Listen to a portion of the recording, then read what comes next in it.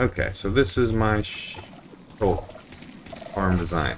I don't use it for the sensors or the shriekers. I'm sure you could probably modify it for that.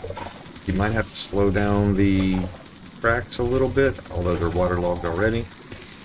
I wasn't worried about getting those. Uh, anyway, Enderman farm up top, actually a double Enderman farm, double layered double Enderman farm.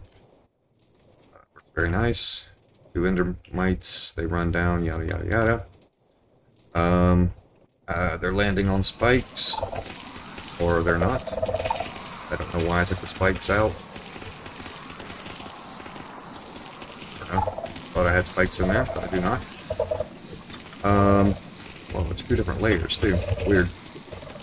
The pearls stay in here till they bounce around and hit the lava. Uh, we've got a double stone generator here. It'll do two stone, two layers of stone at the same time. This is taken directly from ilmango's Moss Farm. And um, there are actually two different versions here. Just trying to trying around with a few things. It seems that these are more powerful than I thought. I put four of them over here. You only need two of them to get the stone converted. Um, the water was here to help flush items into the center. Either way works fine, it looks like. Let me just demonstrate right quick.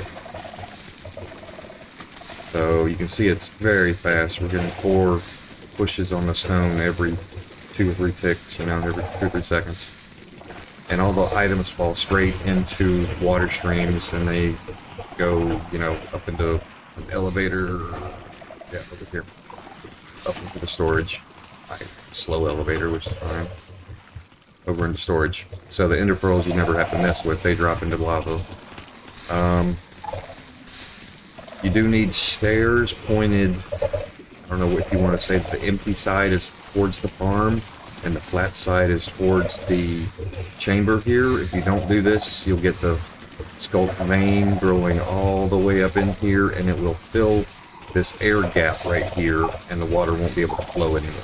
The water doesn't destroy Sculk's vein, and neither will the lava. It's like impermeable to both of them. The water will be stuck in the stairs, the lava will be stuck up there.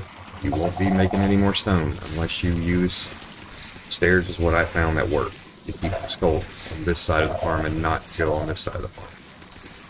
Very important. This, this farm broke several times until I found out that stairs, you just basically wrap the whole farm with stairs pointing with the flat side towards the uh, generator.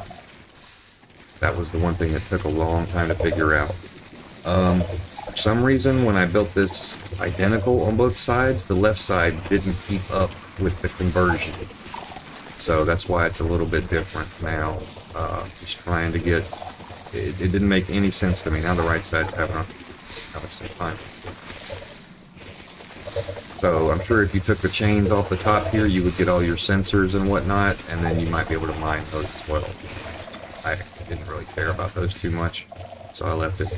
So this this side has two uh, catalysts, and that handles the Enderman just fine. I don't know if you can see them or not. They disappear when they die just a mod that I have. And their ender pearls, you know, like I said, bounce around till they fall in the lava. Um, there's one on-off switch for the whole deal. Jump out the, oh, I'm breaking everything. Excuse me. Get out of here this way. There, there. There's one on-off switch that turns the generator on. This is the actual on-off lever here. This, if you power leave this torch powered, it stops this clock. And that lever also turns on the powered rails to get them moving. Big problem. Jump in, and you just go to town.